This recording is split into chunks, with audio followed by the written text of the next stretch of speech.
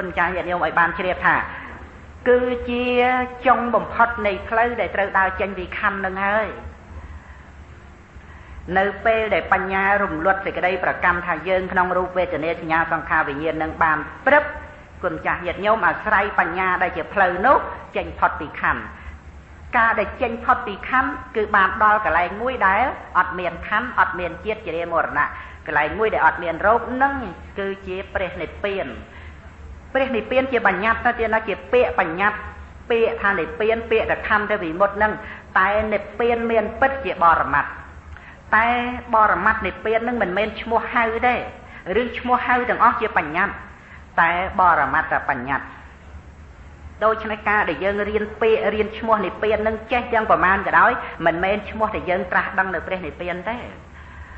ការដែលត្រាស់ដឹងនៅព្រះនិព្វានគឺបញ្ញាឃើញនៅនិព្វាននោះ តាមដែលដូចមានឈ្មោះហើយដែលយើងបានរៀននឹងឯងតែឃើញថានិព្វាននោះមានពិតទាំងដែលប្រគុណម្ចាស់ញាតិញោមនឹងឯងបានឃើញនិព្វាននោះជាមួយគ្នានឹងការបានដល់និព្វានការដែលប្រគុណម្ចាស់ញាតិញោមបានទៅដល់និព្វានជាមួយគ្នានឹងការត្រាស់ដឹងនៅព្រះនិព្វាន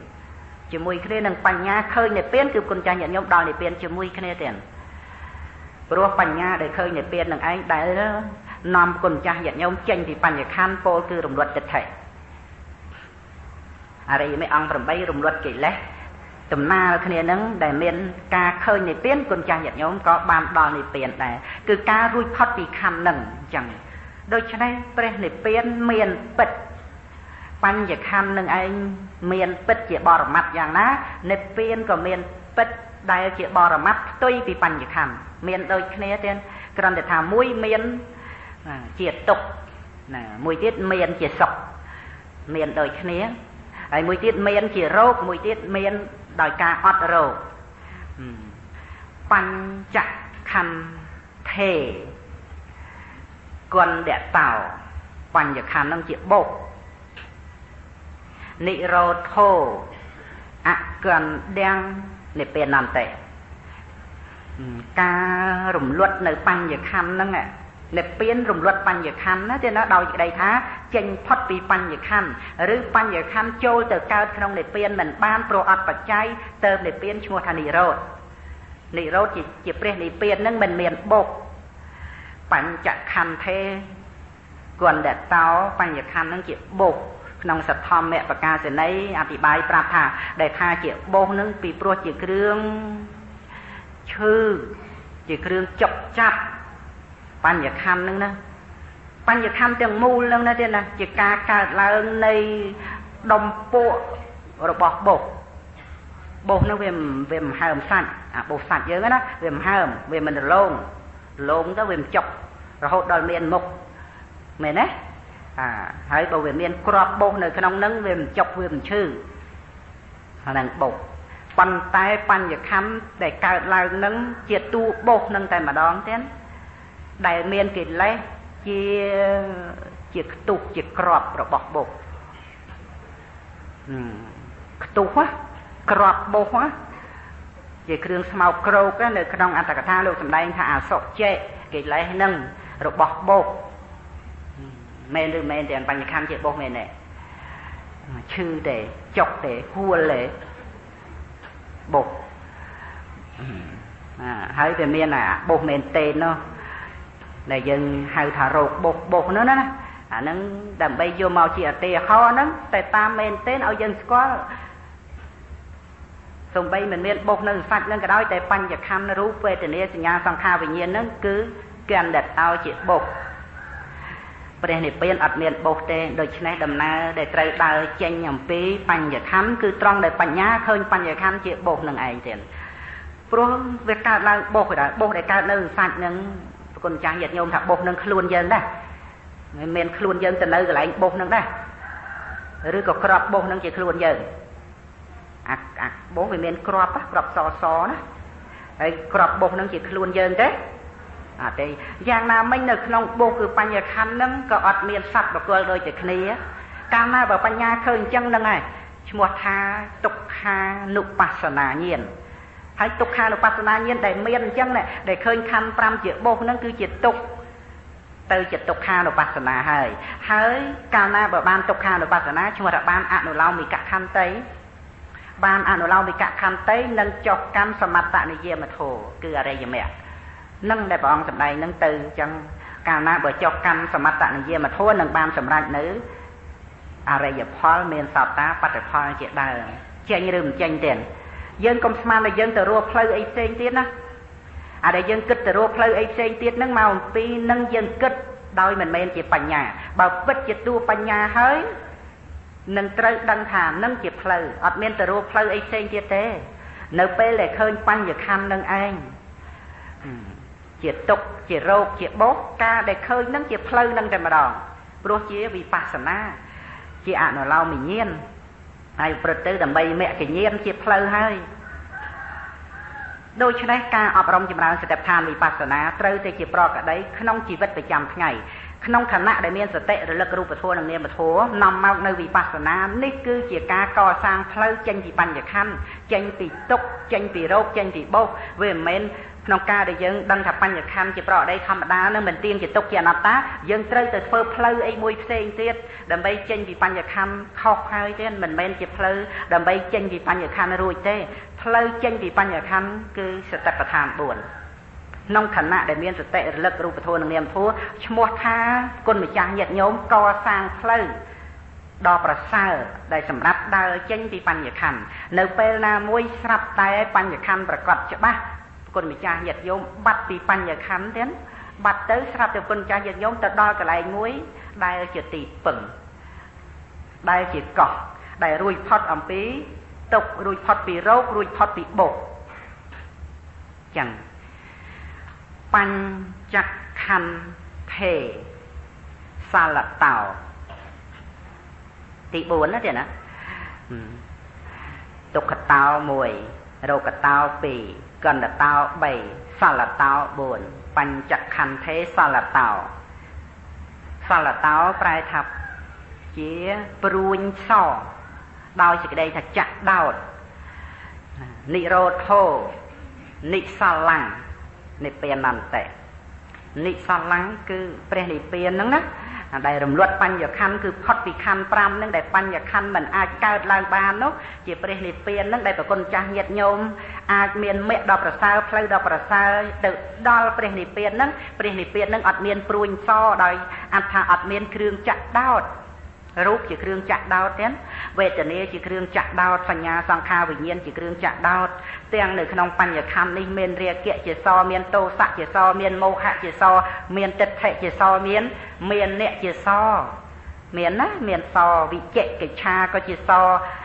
សេចក្តីសោកក៏ជាសកិលេសទាំងអស់ជាសក្នុងបញ្ញខណ្ឌនឹងជាព្រួញសទៀតតណ្ហាជាព្រួញសមែនទេ ដោតក្នុងហប្រតិហើយដោយអត្ថាមិនងាយដកបានទេបញ្ញខណ្ឌនឹងងាយដកបានទេក្នុងសង្សារវដ្តនឹងសត្វលោកតម្រុំតែដកបញ្ញខណ្ឌដែលជាព្រួញសនេះបានណាតើរាប់ជាតិថា100ជាតិឬ100កោតជាតិបានទេរាប់ជាតិមិនបានទេទៀនបញ្ញខណ្ឌជាព្រួញសនៅពេលណាដកព្រួញសបានដោយអរិយមគ្គដោយបញ្ញាព្រឹប ដល់នៅព្រះនិព្វានដែលជានិសលੰគឺព្រះនិព្វានដែលផុតអំពីព្រួយសបញ្ញខណ្ឌជាសទៀតសត្វលោកអាស្រ័យនឹងខណ្ឌឈ្មោះថាសត្វលោកនោះជាប់ទៅដោយព្រួយសស្ទុះទៅគ្រប់ទិសទាំងពួងទាំងភពតូចភពធំជាប់ព្រួយមែនទេស្ទុះទៅក្នុងភពជាប់ឬមិនជាប់ទេបាទហើយកុំឲ្យមកថា ជាប់ព្រួញសអមិនលោកគ្រូបើគ្រាន់តែខណ្ឌ5នោះអត់មានសັບផងនោះកុំតន់ចូលដល់ប៉ុណ្្នឹងទេអានឹងឲ្យយើងឃើញថារឿងក្នុងសង្សារវត្តនេះណាវាមិនមែនរឿងដែលអត់សັບនឹងទេរឿងនេះវាមានសັບវាមានបកលហើយដោយសេចក្តីប្រកម្មនឹងឯងទាំងបញ្ញាដែលដឹងថាសេចក្តីប្រកម្មនឹងណាជាកិលេសទេមិនមែនសັບទេក៏វាអត់មានបញ្ញាអីទៅដឹងអញ្ចឹងនឹងដែលឈ្មោះថាសត្វលោកអាស្រ័យក្នុងវត្តដាក់ រឿងយើងនិយាយដោយបរមត្តធម៌អានឹងយើងនិយាយនៅក្នុងរឿងផ្លូវឬយើងនិយាយនៅក្នុងគ្រឿងដែលសម្រាប់ភើចកន្ត្រាក់ដកព្រួយសតែរឿងក្នុងវត្តសង្សារយើងត្រូវឲ្យឃើញយើងត្រូវឲ្យឃើញព្រួញសយើងត្រូវឲ្យឃើញការបាញ់ព្រួញសដោយអំណាចតណ្ហាដែលនាំឲ្យសត្វលោកជាប់ព្រួញសត្រាច់រង្គត់ទៅក្នុងវដ្តសង្សារក្នុងនរកក៏ជាប់ព្រួញសគឺជាប់ខណ្ឌនឹង ក្នុងប្រែតិឆានអសុរកាយក៏ជាប់ព្រួញសមានបឋិជនណា ដែលអាស្រ័យវត្តដាក់នេះមិនជាប់ព្រួញសទេមានទេបឋិជនដែលអាស្រ័យវត្តដាក់នេះគឺជាប់ព្រួញសទាំងអស់ទៀតព្រួញសគឺរូបព្រួញសគឺវេទនាព្រួញសគឺសញ្ញាសង្ខារវិញ្ញាណដោតជាប់បឋិជនដែលអាស្រ័យវត្តដាក់នេះអស់កាលជាអង្វែងទៀតតម្រាំតែបានជួបនៅ គ្រឿងដែលសម្រាប់ ភើចកន្ត្រាក់ដកព្រួញសនោះក៏បានដល់នៅនិសឡੰងគឺព្រះនិព្វាននឹងនឹងទី4ទី5បញ្ចខន្ធេអខតោអខោតអស្រអោដោយសេចក្តីថាបញ្ញខណ្ឌនេះជារបស់លំបាកនិរោធោអនខោនិព្វានន្តៈ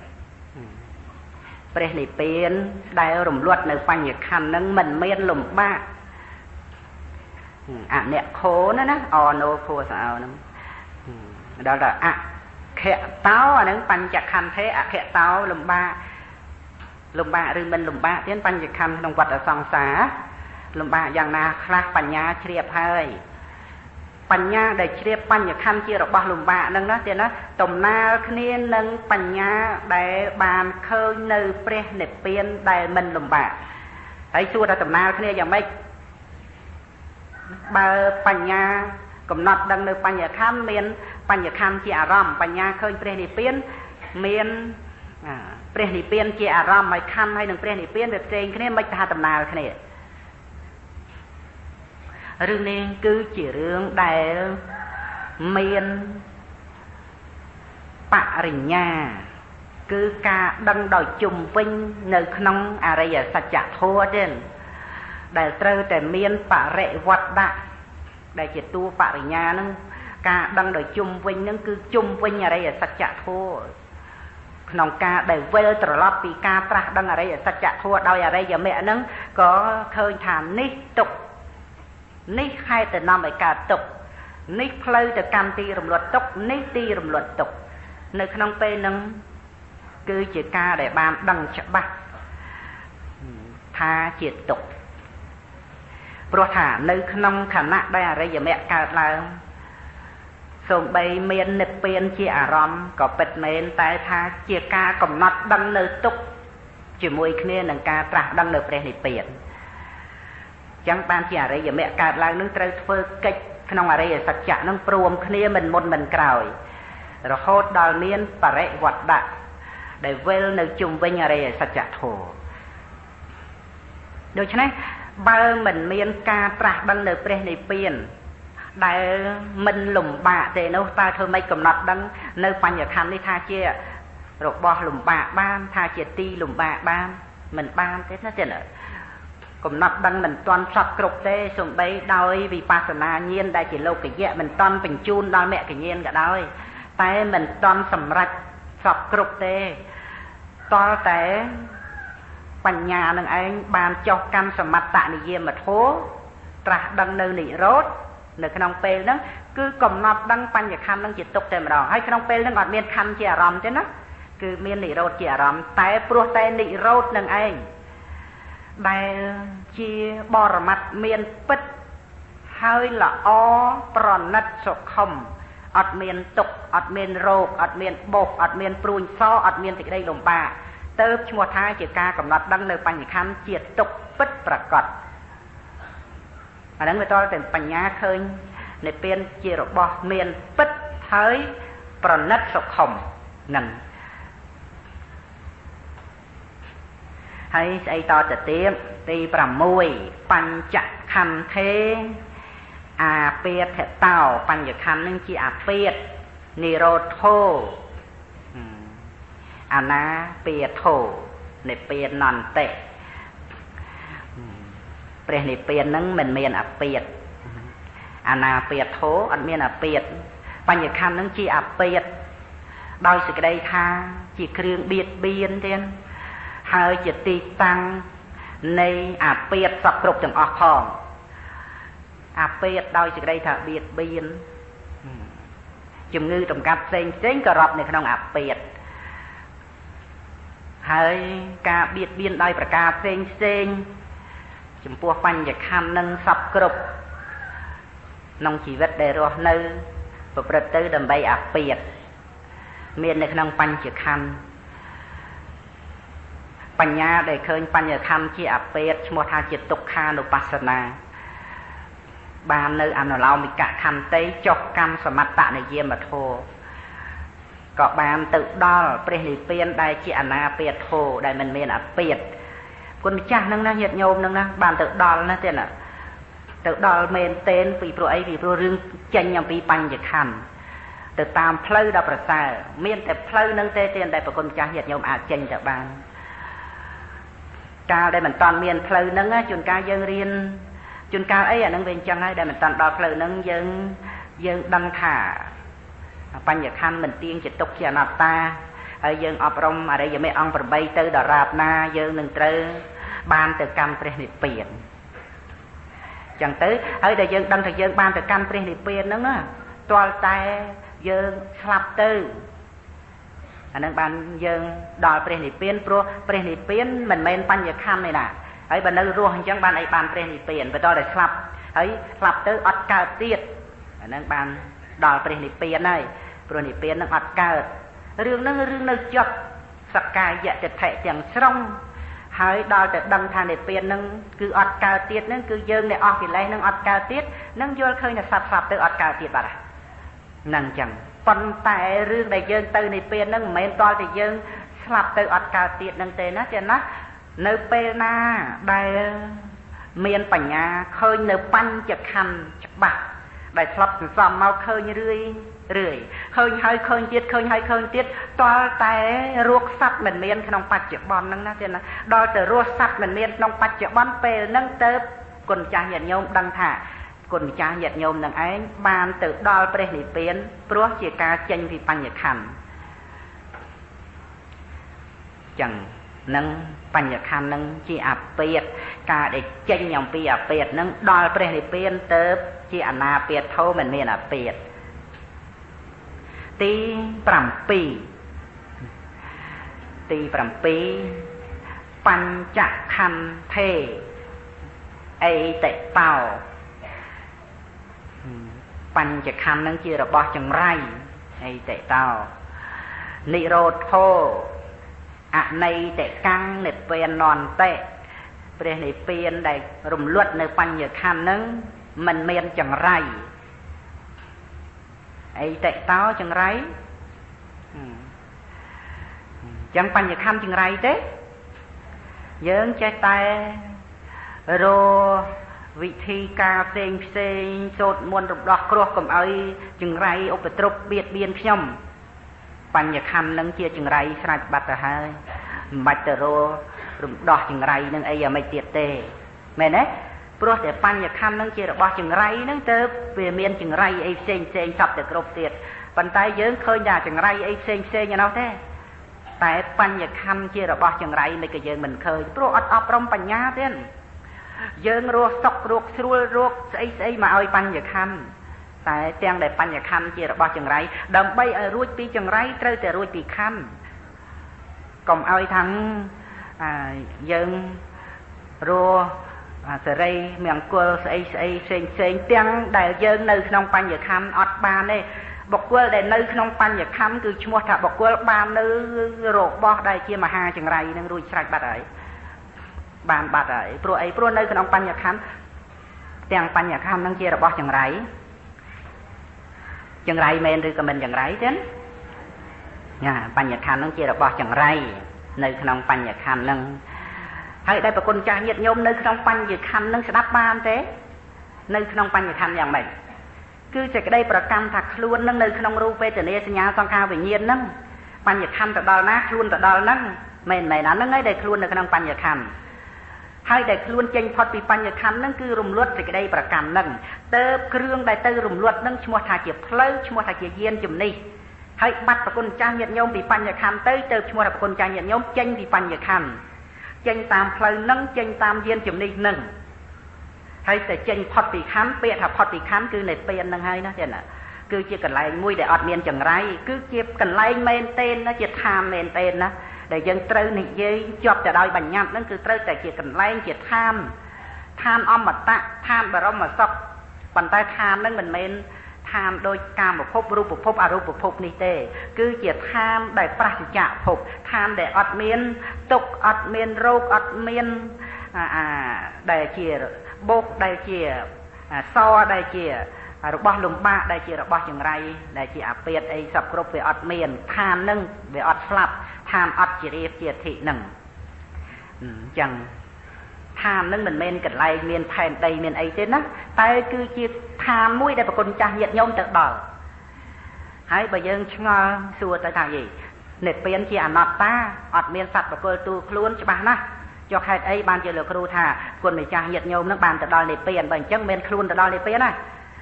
អាហ្នឹងបើសិនជាឆ្ងល់អញ្ចឹងអាហ្នឹងក៏ជ្រាបជ្រាប ទៅជាជំនួយស្មារតីណាទៀតណាព្រោះតែនិព្វានជាអនត្តានឹងហើយទៅបានជាប្រគុណម្ចាស់ញាតិញោមនឹងបានទៅដល់និព្វានកើតពីព្រោះប្រគុណម្ចាស់ញាតិញោមដែលបានទៅដល់និព្វានហ្នឹងណាពីព្រោះទៅតាមផ្លូវនៃបញ្ញាដែលឃើញបញ្ញខណ្ឌហ្នឹងជាអនត្តាដែរក្នុងបញ្ញខណ្ឌអត់ប្រគុណម្ចាស់អត់ញាតញោមនឹងហើយបានជាប្រគុណម្ចាស់ញាតញោមនឹងត្រូវបានផុតពីបញ្ញខណ្ឌដល់នៅព្រះនិព្វាន បើសិនជាព្រះនិព្វានជាអត្តាជាទូខ្លួននឹងធ្វើម៉េចប្រគុណម្ចាស់ញាតញោមបានទៅដល់និព្វានកើតបើក្នុងបញ្ញខណ្ឌនឹងបញ្ញាឃើញច្បាស់ថាសត្វប្រគល់អត់មានបញ្ញាឃើញថាជាអនត្តាហើយបើព្រះនិព្វានជាអនត្តាធ្វើម៉េចប្រគុណម្ចាស់ញាតិញោមទៅដល់ព្រះនិព្វានព្រោះតែព្រះនិព្វានជាអនត្តានឹងហើយទៅប្រគុណម្ចាស់ញាតិញោមនឹងឯងបានទៅដល់ព្រះនិព្វានរឿងហ្នឹងរឿងនិព្វានហ្នឹងដែលត្រូវដឹងហ្នឹងគឺត្រូវទៅដល់ហ្នឹងតែម្ដងទៀត កាលណាបើបញ្ញាឃើញច្បាស់បញ្ញខណ្ឌនឹងឯងអត់មានសត្វបកលហើយគឺបានដីថាប្រគុណម្ចាស់ញាតិញោមដែលធ្លាប់ទៅនៅក្នុងបញ្ញខណ្ឌហ្នឹងធ្លាប់តែចង្កត់ក្នុងបញ្ញខណ្ឌហ្នឹងបានចេញពីបញ្ញខណ្ឌហ្នឹងកន្លែងហ្នឹងចេញពីបញ្ញខណ្ឌទៅដល់ព្រះនិព្វានទាំងដែលនិព្វានហ្នឹងជាអនត្តាតែប្រគុណចាស់ញាតិញោមដល់និព្វានហ្នឹងរឿងដល់និព្វានដែលផុតចាកខណ្ឌផុតចាកទុកទាំងពួងនឹងចឹងហើយ បញ្ចខន្ធេឧបតវៈតោបញ្ចខន្ធនឹងឯងជាឧបទ្រពនិរោធោអនុបតវៈនិព្វានន្តិព្រះនិព្វាននឹងមិនមានឧបទ្រពចឹងហើយបញ្ចខន្ធេភយតោបញ្ញខន្ធនឹងជាភ័យនិរោធោអភិយ៉ាងនិព្វានន្តិ ព្រះនិព្វាននឹងមិនមានភ័យបញ្ចខន្ធេឧបសគ្គតោបញ្ចខន្ធនឹងជាឧបសគ្គនិរោធោអនុបសគ្គៀងនិព្វាននន្តិព្រះនិព្វានមិនមានឧបសគ្គឃើញទេ10ហើយឃើញទេ10ហ่ะ10ហ่ะ6ហ្នឹងបញ្ញខណ្ឌចង្រៃ7បញ្ញខណ្ឌជាឧបទ្រព8បញ្ញខណ្ឌជាភ័យ9បញ្ញខណ្ឌនឹងឯងជា ឧបសគ្គប្រមាណហើយរាប់តាមនឹងទៅឃើញហើយក្នុងពួកទុកនឹងទី1បញ្ញខណ្ឌជាទុកទី2បញ្ញខណ្ឌជារោគទី3បញ្ញខណ្ឌជាបោកទី4បញ្ញខណ្ឌជាព្រួយសទី5បញ្ញខណ្ឌជារបស់លំបាកទី6បញ្ញខណ្ឌជាអពាត ទី7បញ្ញខណ្ឌចង្រៃទី8បញ្ញខណ្ឌជាឧបទ្រពទី9បញ្ញខណ្ឌនឹងជាភ័យទី10បញ្ញខណ្ឌនឹងជាឧបសគ្គសិតតែនៅក្នុងទុក្ខានុបស្សនាដែលបញ្ញាឃើញអញ្ចឹងទេណាអញ្ចឹងហើយតទៅរៀបរាប់ទៅបញ្ញខណ្ឌនឹងឯងមិនមានទីជ្រក់11ទី12បញ្ញខណ្ឌនឹងឯងមិនមានទីពួន ហើយទី13នឹងបញ្ញខណ្ឌនឹងឯងមិនមានទីពឹងរៀបរាប់ទៅប៉ុន្តែបើគ្រាន់តែរាប់រាប់អញ្ចឹងទេ មើលសិភៅទៅក៏ដូចតែគ្នា បានជាសំដែងរៀបរាប់វេញេតាមន័យនៃអត្ថកថាដែលលោកបញ្យល់ឲ្យឃើញថាតើដែលបញ្ញខណ្ឌជាឧបទ្រពនឹងយ៉ាងណាហើយជាភ័យនោះយ៉ាងម៉េចជាឧបសគ្គនឹងប៉ុន្តែបើប្រគុណចាស់ញាតិញោមមានបញ្ញាឃើញនៅក្នុងរឿងណាមួយហើយ ក៏នឹងឃើញបញ្ញខណ្ឌនឹងទៅតាមព្រះពុទ្ធដីកានឹងណាទេណាដែលព្រះសម្មាសម្ពុទ្ធព្រះអង្គទ្រង់ត្រាស់សម្ដែងសពគ្រប់ទាំងអស់អញ្ចឹងដូចជាបញ្ញខណ្ឌហ្នឹងបញ្ចខណ្ឌទេអតានតោអត់មានទីជ្រក់បញ្ចខន្ធទេអលេនតោអត់មានទីពួនបញ្ចខន្ធទេអសរណតោបញ្ញខន្ធនឹងអត់មានទីពឹង មានមានមានជ្រក់មានពួនមានពឹងអីកើតបញ្ញខន្ធនឹងទេ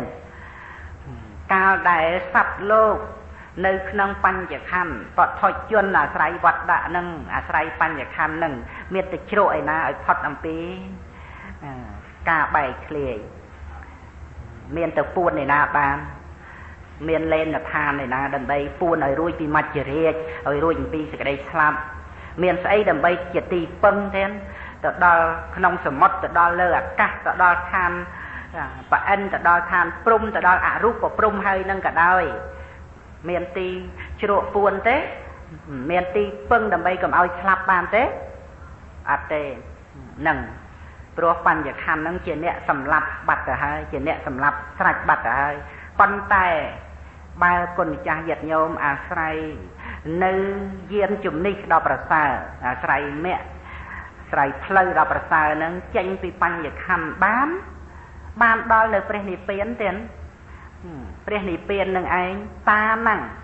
ណាជាទីជ្រកលេណាំងជាទីពួនសរណាំងជាទីពឹងជាទីរលឹកព្រះនិព្វាននឹងចឹងហើយគុណម្ចាស់ញាតិញោមបងប្អូននឹងពិចារណាឃើញបន្តទៅទៀតនៅបញ្ញខណ្ឌនឹងឯងជាទុកបញ្ចខណ្ឌទេ អាទីនវៈតោជាទុកនិរោធោអនាទីនវៈនិព្វានន្តៈព្រះនិព្វានទៅមិនមានទោសណានៅក្នុងបញ្ញខណ្ឌនេះទោសសពគ្រប់ទាំងអស់ចឹងដូច្នេះញាតិញោមបងប្អូននឹងត្រូវការដើម្បីចេញពីបញ្ញខណ្ឌទេគុណចាស់ញាតិញោមណាទាំងនិមន្តទេចេញទេឬក៏សបាយរីករាយនឹងយានជំនិះក្នុងលោកនេះសបាយរីករាយនឹងដំណើរ កើតស្លាប់ក្នុងលោកនេះដោយបញ្ញកម្មផ្សេងផ្សេងត្រេកអរក្នុងភពចឹងនៅពេលដែលយើងនិយាយអីខុសតិចឬអញនិយាយខុសហើយ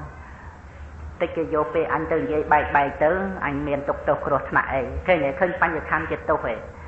តតទៅតាកតួងនឹងរឿងគេគេមកសួរមាត់កពិបាកដោះស្រាយជួនកាលមានតាកតួងនឹងរឿងអីវែងឆ្ងាយពិបាកនឹងរត់ពិបាកនឹងគេចពិបាកនឹងពួនទៅទីណាក៏មិនរួច រត់កិច្ចចេញអំពីអ្នកដែលគេដេញចាប់ដើម្បីនឹងធ្វើទរណកម្មក៏មិនរួចពីមាត់ចុកដដែលមិនរួចពីឈឺមិនរួចពីទុកមិនរួចពីសេចក្តីលំបាកនឹងដដែលប៉ុន្តែបើប្រគុណម្ចាស់ញាតិញោមចេញប្រុចផុតពីបញ្ញខណ្ឌរឿងអ្វីក៏ជារឿងរបស់ខណ្ឌឃើញទេរឿងអីក៏រឿងរបស់ខណ្ឌរឿងគេស្ដីឲ្យស្ដីទៅខណ្ឌហ្នឹងបើយើងចេញផុតពីខណ្ឌណាហើយមានមកត្រូវមាត់ណាណាស្ដីឲ្យទៀតអឺ ហើយបើចង់រឿងគេបង្អាប់គេខ្មាស់តេះដៀលក៏រឿងហ្នឹងវាជារឿងរបស់ខណ្ឌ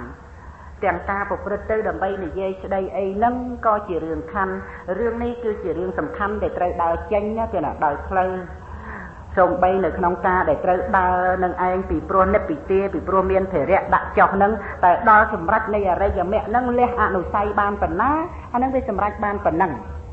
ដល់តែអញ្ចឹងទៅអនុស័យដែលវានៅមានវានាំឲ្យមានកិលេសកើតឡើងតែក៏មិនបានប្រកាន់